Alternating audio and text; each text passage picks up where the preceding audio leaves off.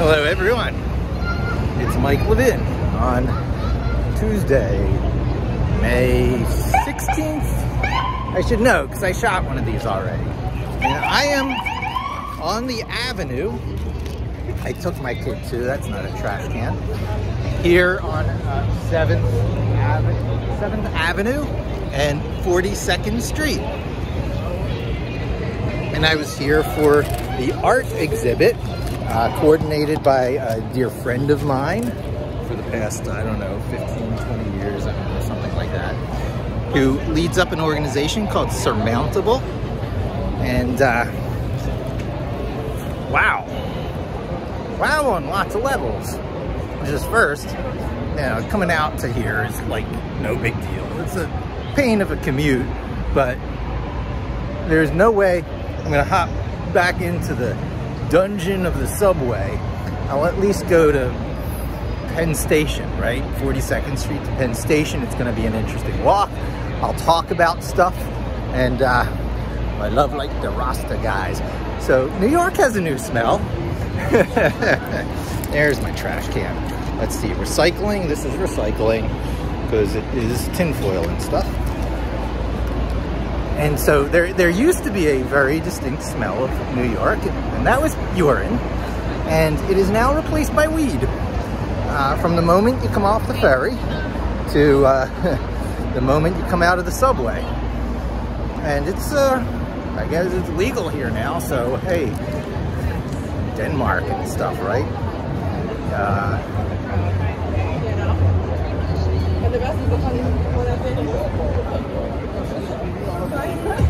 I won't, I won't let it stop me from taking my walk. There's all kinds of interesting places that I hear. It's loaded with memories. And it, uh, it gets into your psyche, you know? Uh, there is a certain energy here. I'm in the most stereotypical uh, tourist area of possibly all New York, Times Square and uh, I couldn't resist pulling out the camera and uh, giving a look around. I mean, I guess at some point the Empire State Building will be visible. It's a, a beautiful purple tonight. And uh, I got so much to talk about, so much to talk about. What is the topic gonna be? How could it not go to Rabbit Hole Linux? Citibank.com. I've been in training for this for a very long time. Uh, probably starting 12, 13, maybe 14 years ago when I realized that the main thing that sets people back from taking a more technical route in life is the ability to have continuity over time. For your skills to gradually build over time as they do with a musician or an athlete who is using the same equipment. Who is, you know, I'm beating a dead horse, but, you know, very few, either very few get the message, or very few can act upon what it means to have received the message. Planned obsolescence is real. Designed obsolescence, keeping you buying, keeping you from having the achieving the level in life that is inherently capable inside of you as a human being who can get better at things over time is being deliberately denied to you. And it's not a conspiracy, it's just a fact. User interfaces change so that they can sell you the next, the newer, the better. And, uh, you know, user interfaces changing is, is the worst because it's the way you use things. It touches directly on your muscle memory. And I could give example after example, but y'all know what I'm talking about. How many of you are not as expert as something you started out with that, that you might be by now because the tool's different. The tool's not available, the tool's too expensive, etc., etc. And uh, even things as simple as Microsoft Word go through these radical changes and floating palettes are the worst. When things go onto some docking ribbon interface and they can be moved around, that means they're never twice same place and they change dynamically when you change the window size. This keeps you from getting better and faster over time, period. There, there's no two ways about it. it. You know, fixed versus floating. Of all those places you want to be static in your life, the APIs to the tools you use every day is one of them.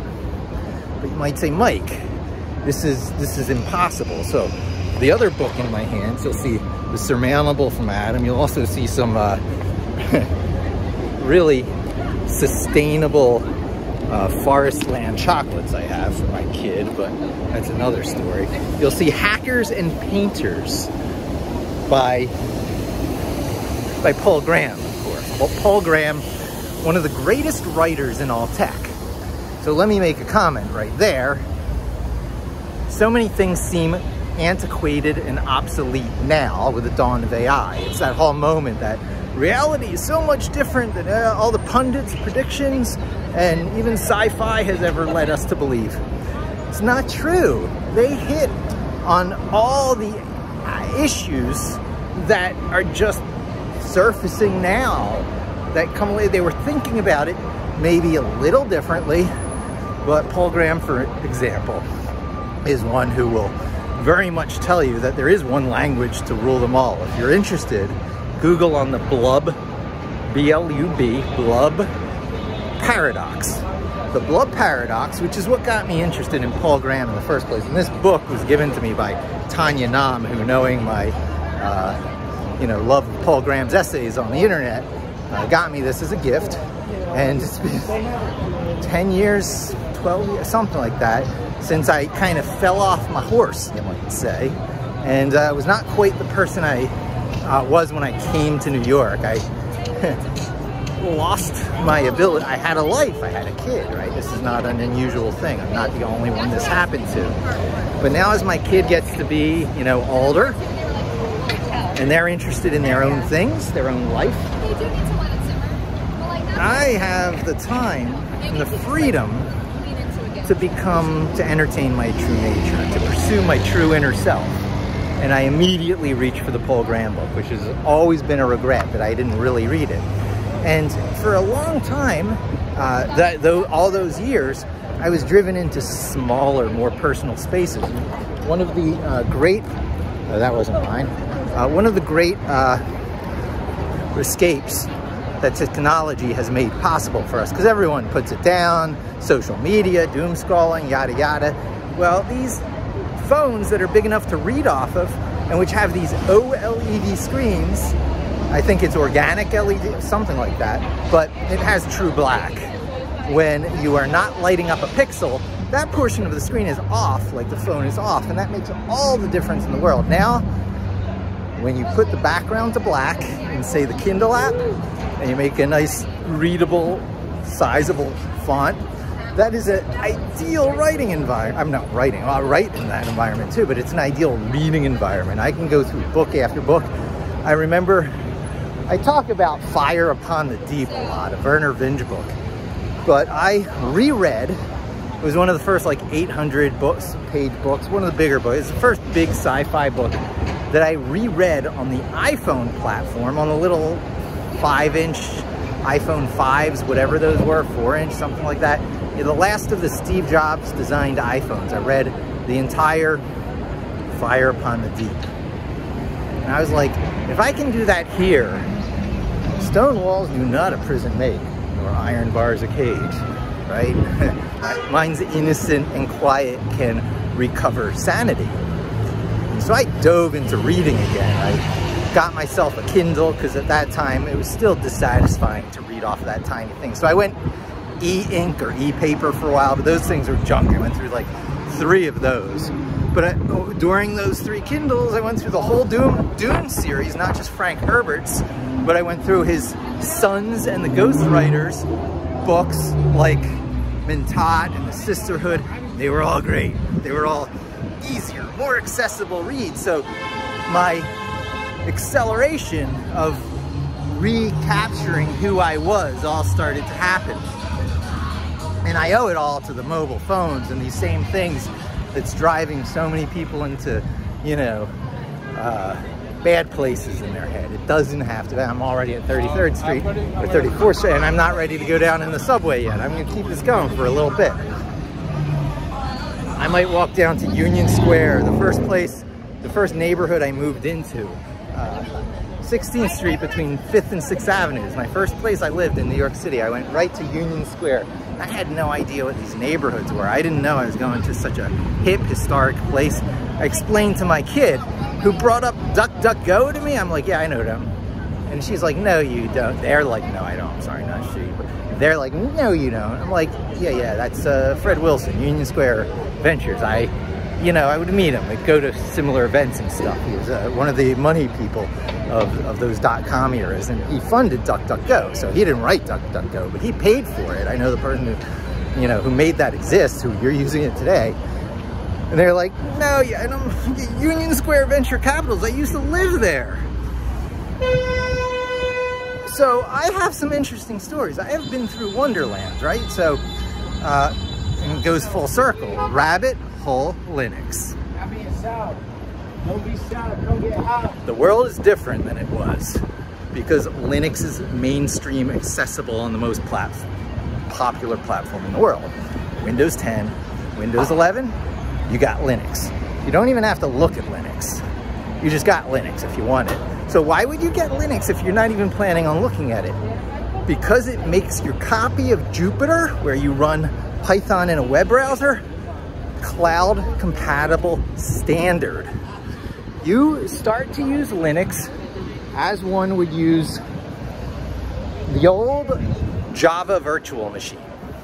Write once, run every, run anywhere. Wora, write once, run anywhere. W-O-R-A was the uh, acronym for that.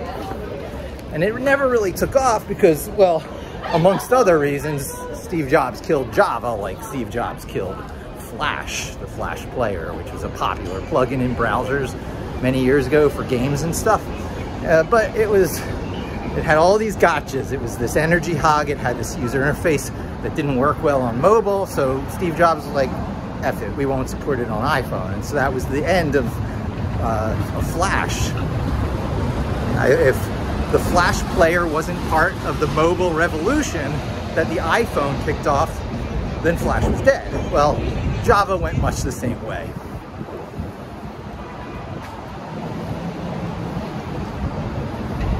It's also a security problem, endless upgrades, and even though it was write once, run anywhere, it actually fulfilled on that promise, the language was awful.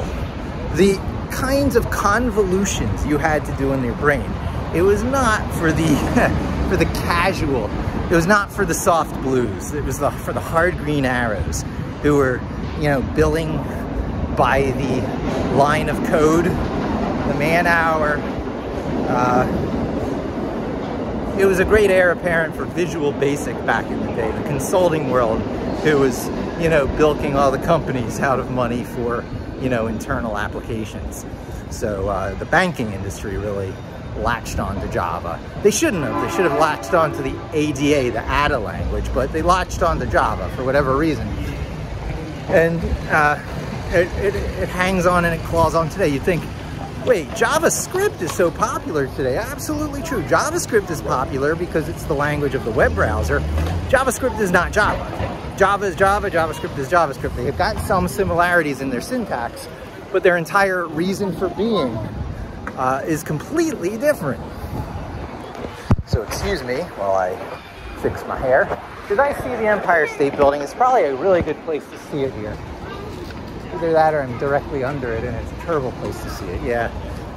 Eh, I'll post a picture on Instagram. Okay.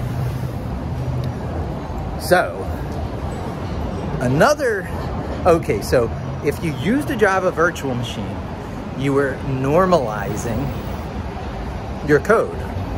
You could use normal code, same code anywhere. Last programming language you'll ever have to learn. That was the promise of Java.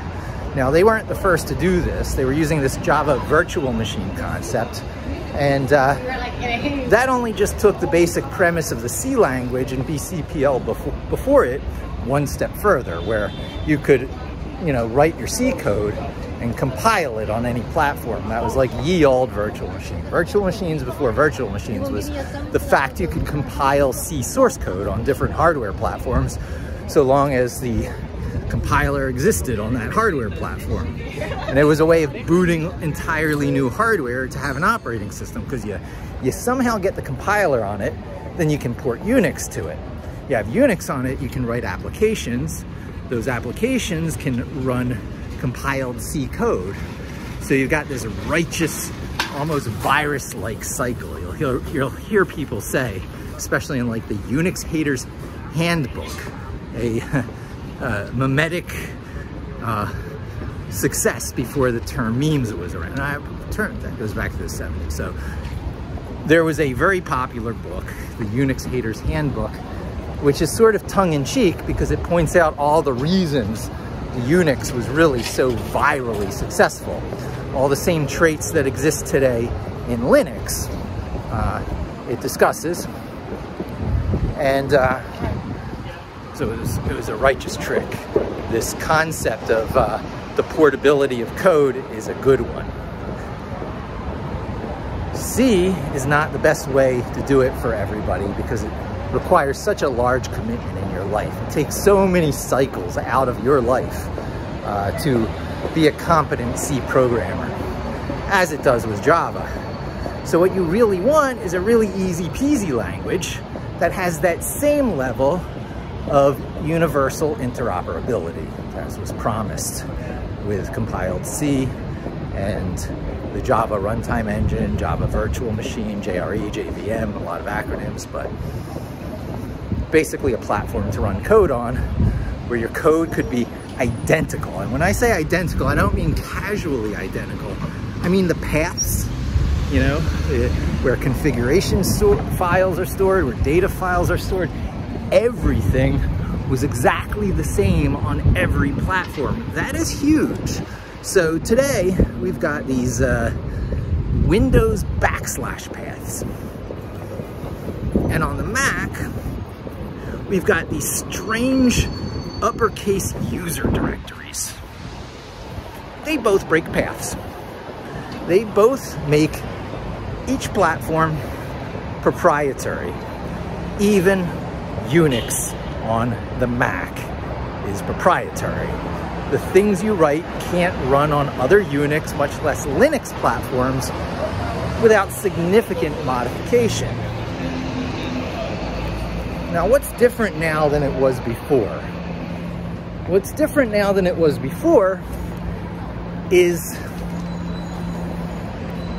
no platform is credible if it can't run the machine learning, the AI, the data science packages that's powering, say, the OpenAI revolution, the uh, redemption of science. The field of science was under attack by creationists, demagogues, and Luddites. And they had a fair point because 30% of scientific studies could not be reproduced, revealing the scientists as the lying hypocrites that they were. That was not a sustainable position. It was untenable, they call it. The uh, crisis of reproducibility, some called it. So what happened is the principles of uh, documentation, of documenting a process, were all mixed and mingled in with the code on these very expensive very proprietary and very academic platforms like Mathematica, uh, Maple, uh, MATLAB. Those are probably the three big ones, the three M's, right? You were either using MATLAB, Mathematica, or Maple.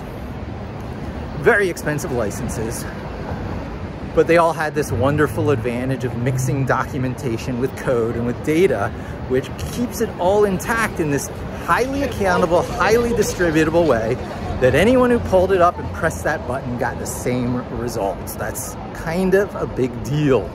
Enough, in fact, to solve the crisis of reproducibility in science. Now, scientists, academics, financial people, being who and what they are, are not going to pay these proprietary licenses for the right to run their code the same way twice.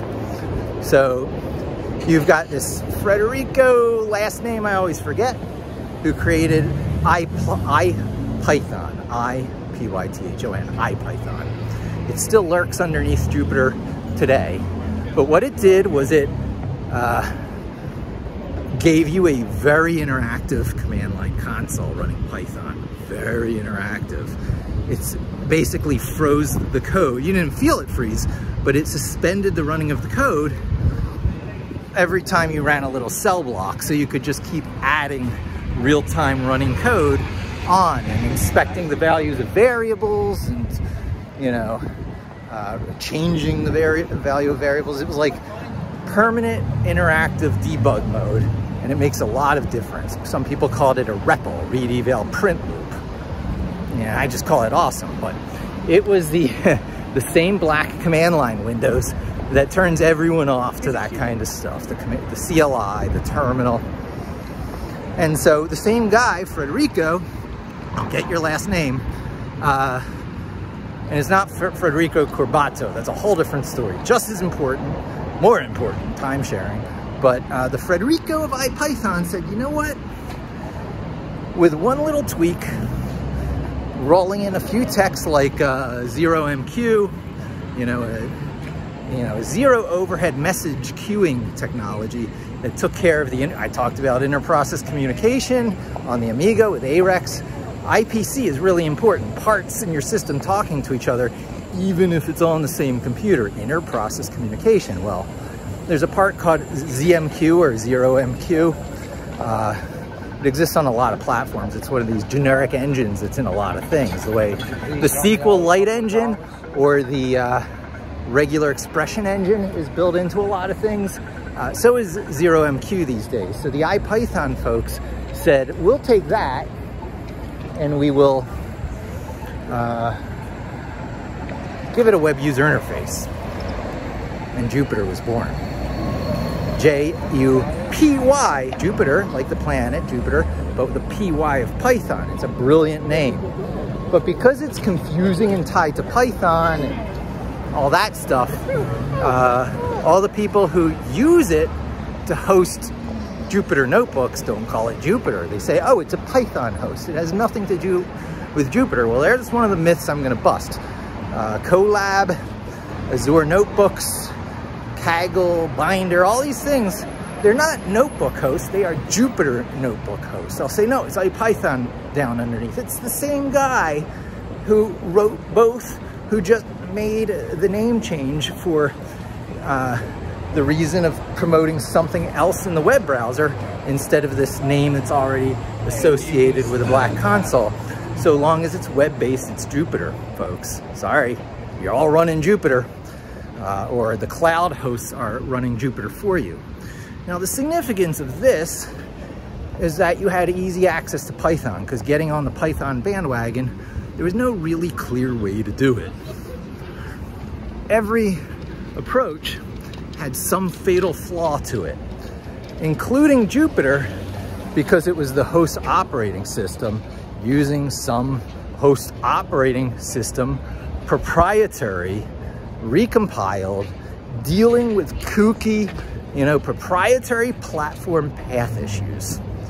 You know, handling of EXEs, handling of queues. There's a lot of different things that they just have to go in there and mess around with. So even though it's the official Python specification, CPython, whether you're on a Mac, whether you're on a Windows machine, it is not the interoperable virtual machine portable code platform that people will lead you to believe.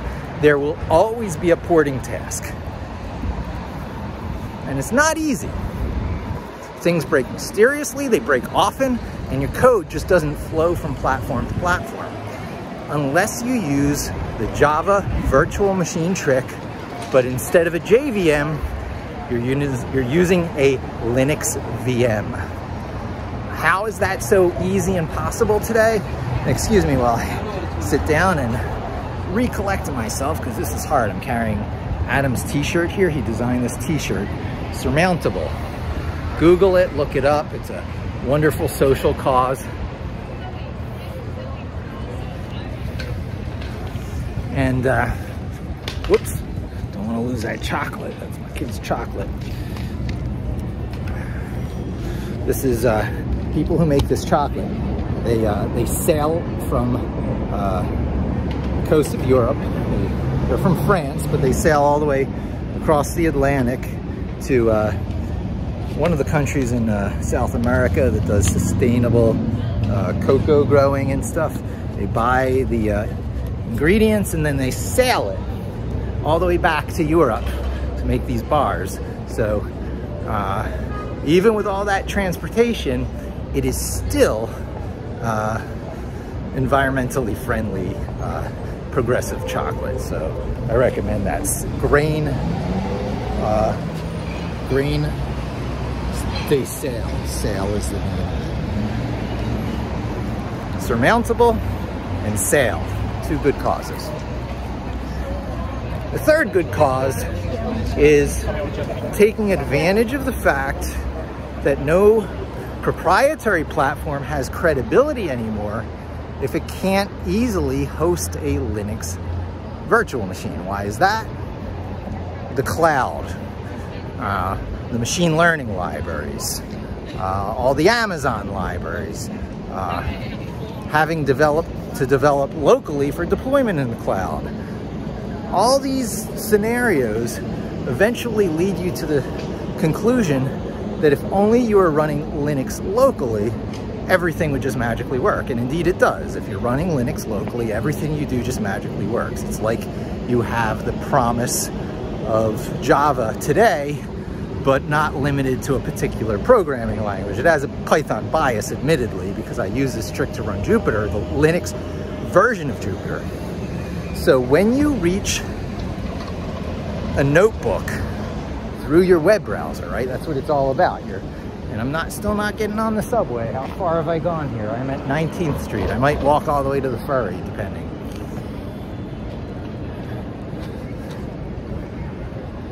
And, you know, it's got the, the whole point of me, for me, now other people have other uses for this kind of tech, but for me, the point is to get Jupyter running with a genuine Linux backend so that your Python is a Linux Python and all your paths are forward slashes and all your home directories are under slash home and your code can run just as easily on your local machine and when it comes time to scale it out to thousands of instances, tens of thousands, hundreds of thousands of instances, the same exact code that you're running locally can get deployed by many number of technologies like Ansible or even just plain old Git uh, into the cloud and scale.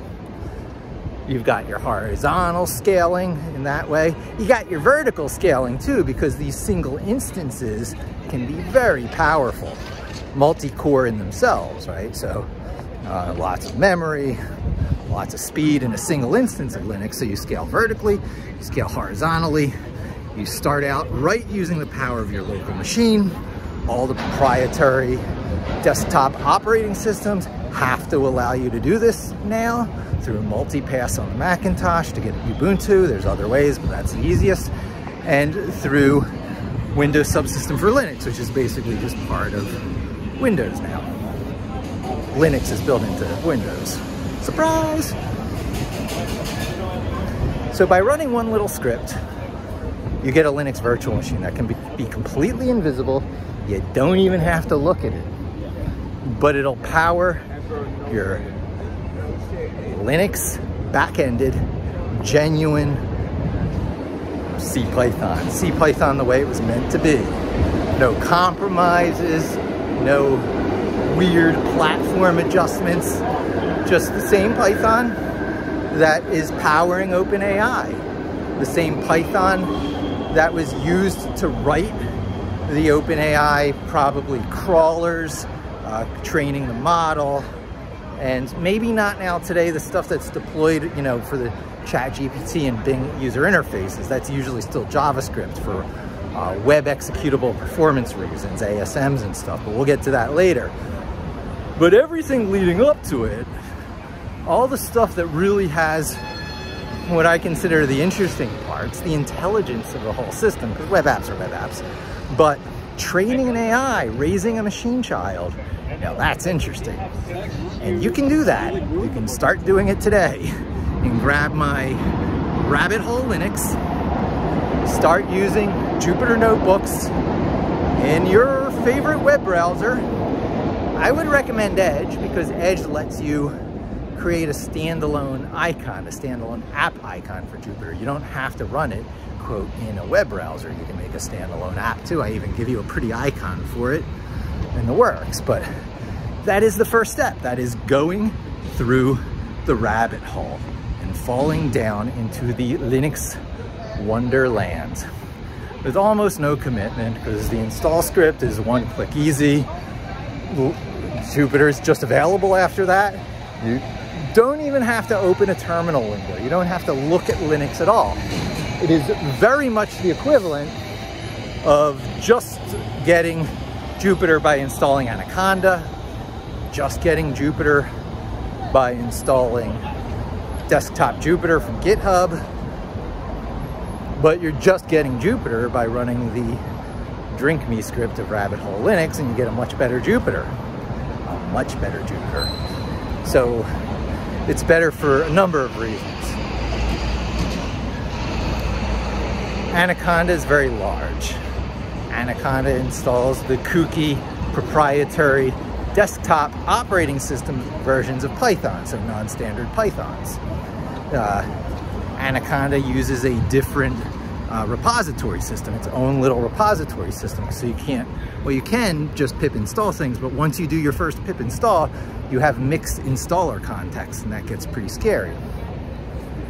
So for these reasons, I don't use Anaconda. They also changed their license on you. You can't use it for commercial reasons uh, without violating their license. You got to pay a pretty penny now. Then there's Jupyter Desktop, and then another guy whose name I forget, but he's a Netflix guy and one of the key players in the uh, Jupyter Foundation, uh, Project Jupyter, we call it. And uh, doo -doo -doo let's see, don't want to lose my train, right? I got to be a, a, combination of being in the moment and uh, talking with spontaneous expertise, right? You can't really do this kind of thing until it's all in your muscle memory. Even the story, even the backstory of all this, it just kind of flows naturally. So a guy from Netflix who's a big project lead on Project Jupyter has made a standalone installer. Here's another opportunity for the subway to get on the one, the infamous one in my life that has played such a big role. Uh,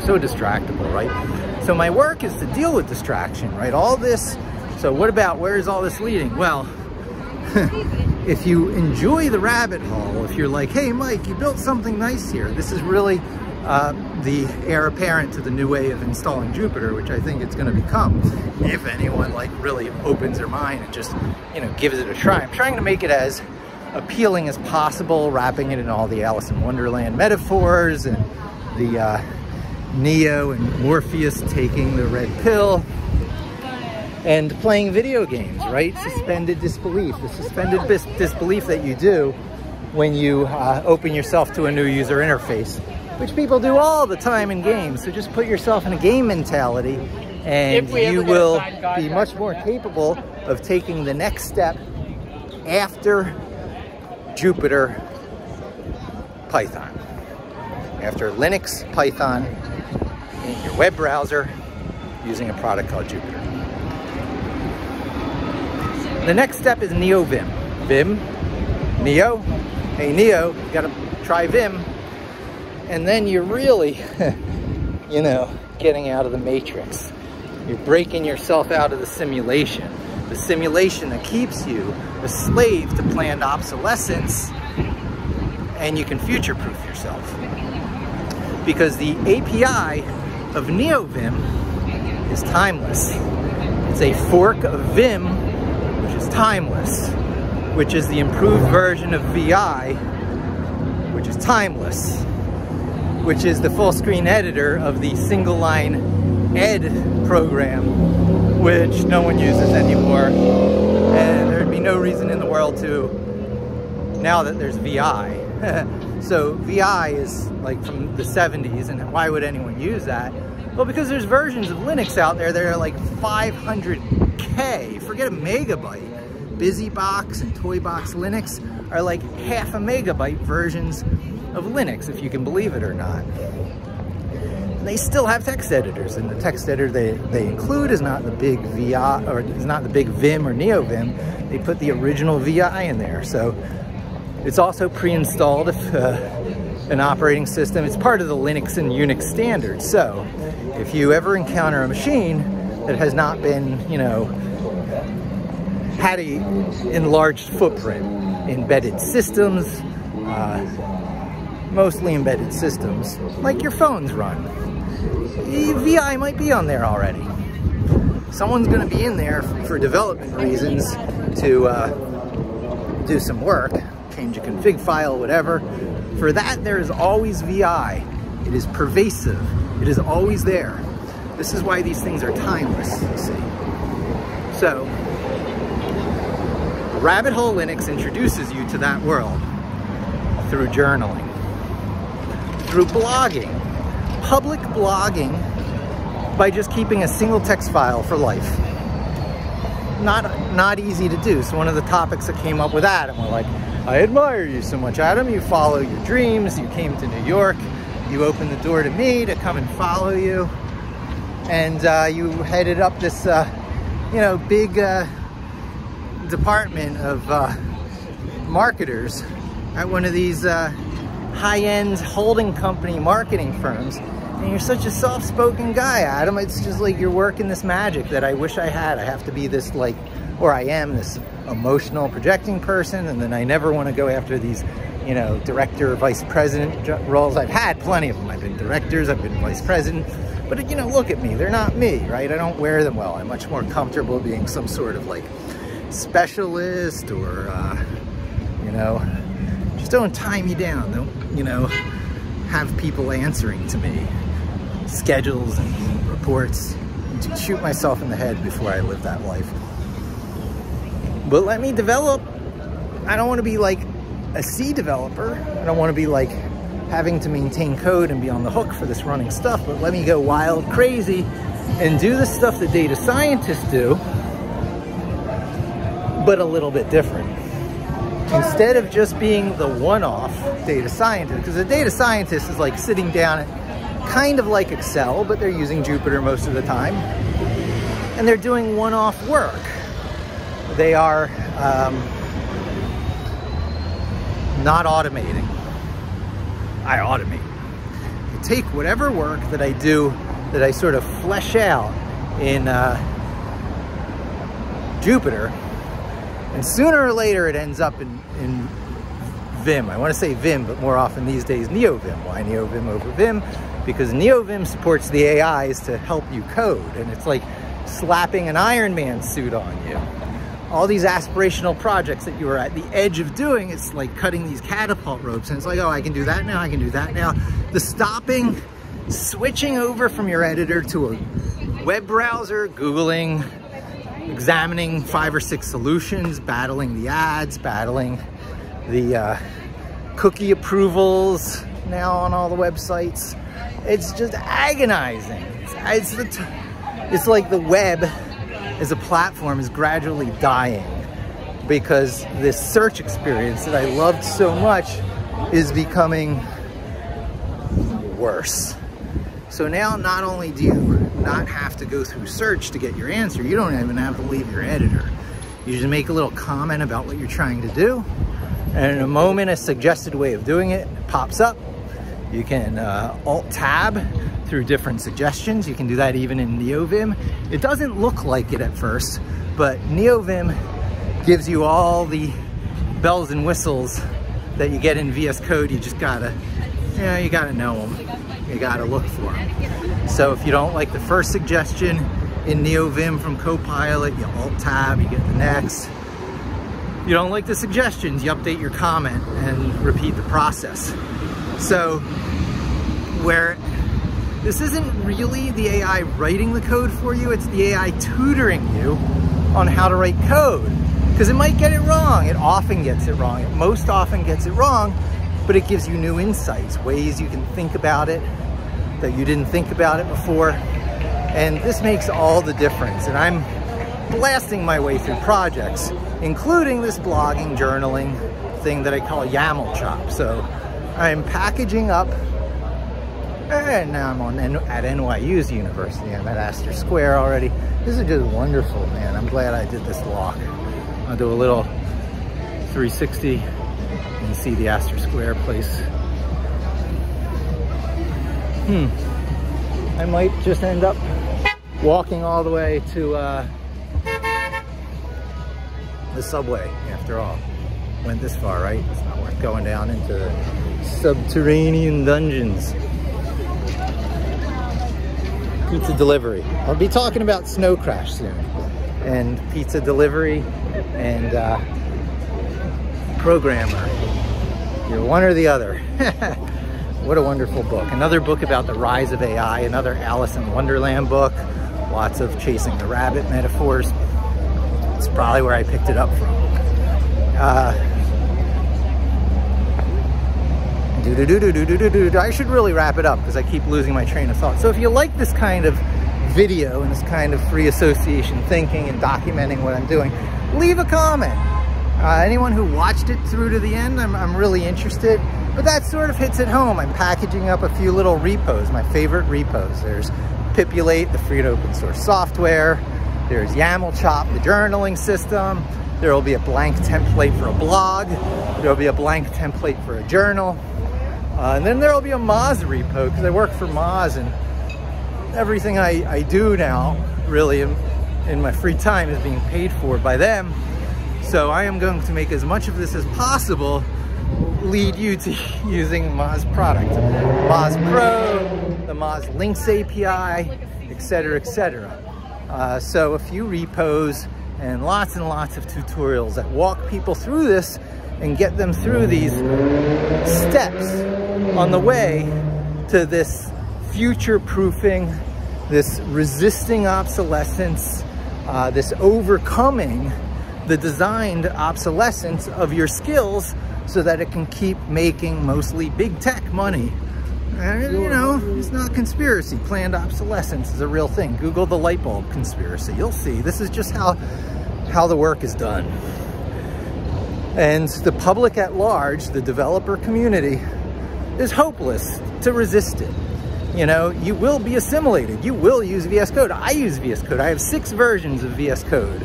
VS Code and VS Codium. Windows, Mac, and native Linux. That's a two by three matrix. I use them all. None of them hold a candle. None of them can change my habits uh, from NeoVim. It's just that much more versatile, timeless, powerful. There's nothing I see in VS Code that is not massively preferable under NeoVim. Speed, responsiveness, load time, uh, the prettiness of the code, uh, the non-strangeness of the code because VS Code is strange by design. It's a strange user interface. Now NeoVim is a strange user interface too, but it's a strange user interface that's lasted about 50 years and going. A strange user interface that comes and goes as I guarantee you VS Code will because Visual Studio before it, from which VS Code stole its name, that's the one that's kind of being retired in sunset for the new thing with a whole new user interface, but the same name to trick you, to make you think they're not doing this to you but all your muscle memory just magically disappears and you have to restart and you have to relearn and you're set back. Uh, Google Fire and Motion, Joel Spolsky seminal article. I told you about the blub paradox, one language to rule them all, which is where a lot of this began, right? One language to rule them all, the first and last language you'll ever have to learn because it's a superset of all other languages. All other languages that exist are a extraction, a subset, a domain-specific problem language that could be written in Lisp because Lisp is that powerful, that fundamental, and it's mostly based on S functions, a linked list. I'll get into all these topics later, but the problem with that is you're always building it up from scratch. The pre-built component parts are not big enough. They're not lumpy enough. Python has exactly the right lumpy size, sorry, of uh, exactly the right lumpy size of pre-built components. Specifically list tuples and dictionaries, but also a lot of other stuff.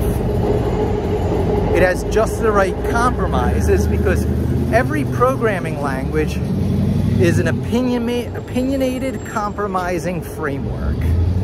It makes it easier than coding in assembly, but always at a price. And so the compromises and the opinions of the language are the price of not having the power of a truly low-level language. So you gotta like the compromises and the sacrifices and the imperfections and the little curly cues and the accidents of the evolution of the language, they all got them. Very few things are pure in tech. So for me, you know, for my energy I'm gonna invest into it, the very best one is Python, hands down, and I've tried a lot, right? A lot of these types of languages that have been retired in the past are Perl, been there, TCL, been there, uh, newer stuff that's like that. Well, of course, when Java came along, I tried to jump on the Java bandwagon. It was had all the right marketing hype, but the reality didn't follow through, so been there. Ruby, when Ruby on Rails came along, I hated Rails, but I liked Ruby. But then I hated Ruby because forced OO when you didn't need to do OO. I mean, that's too much calories you're burning in your head when you just don't have to be. So Python made all just these right 80-20 rule compromises and you know, little nuances. The nuances and details matter. And Guido van Rossum, the creator of Python, his nuances and details are my nuances and details. And if you want to get a feel for it, go into Jupyter, download, you know, download the Drink Me script, get Rabbit Hole Linux on your system, go into Jupyter through your browser, and as your first thing type import space this, all lowercase, the word import space this, and run it. And you'll get the zen of Python. And you'll start to get some idea of the mindset behind it. You know, uh, explicit is better than implicit, uh, but implicit is okay if it's not, you know, if it's the way most people want to do it. I can't even paraphrase it all, but it's a beautiful piece of work. There's a song written about it that Michael Kennedy from Talk Python, to me, loves to promote. Uh, so this is a language that reaches out to people like Michael Kennedy, who, you know, started out on C and Scheme doing this, you know, the, the classic comp sci of maybe the 90s approach to this stuff, which has been replaced by Python even by the people who invented Lisp and had the most legendary comp sci program in the world, MIT, the birthplace of artificial intelligence. Uh, uh,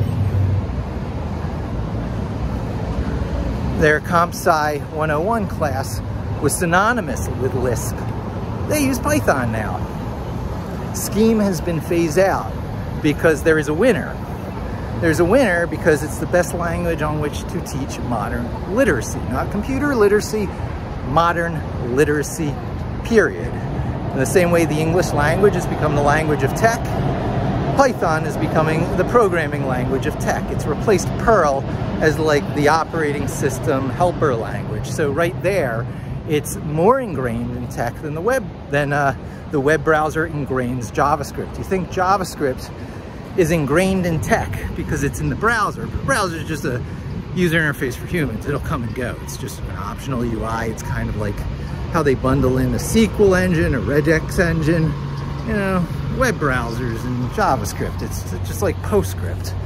You know, when laser printers went away, PostScript went away. So, you know, don't bank too much on JavaScript for these exact same reasons. But Python, Python's the new Perl. Perl went away because its fundamental principles couldn't last under the stress of time.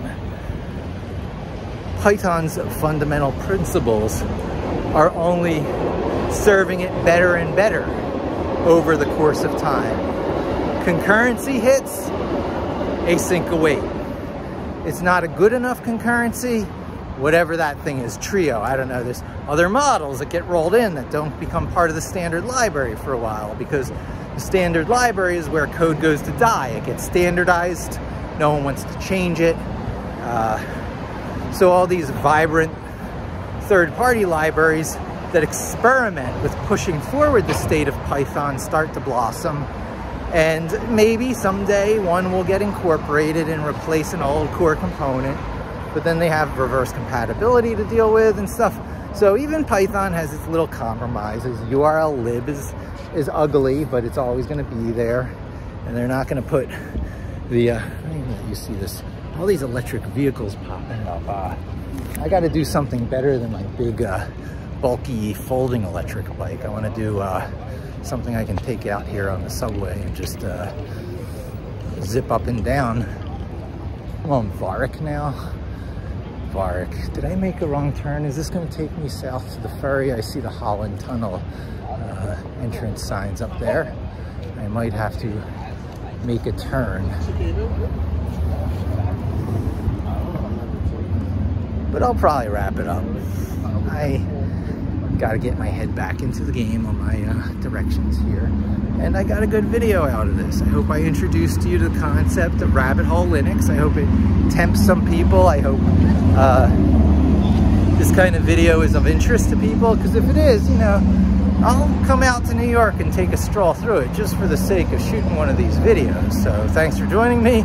Hope to see you again soon. And don't forget to leave comments and interact and, and reach out to me. I, am starting to actually be interested in what people think out there because, you know, working for Moz as I do, I am no longer a behind closed doors keeping proprietary secrets kind of SEO like I had to be in the past. I'm just gonna give it all out. Get you to buy Moz product to help you do a lot of it, but you know, everything has a price. That's the price. See you soon.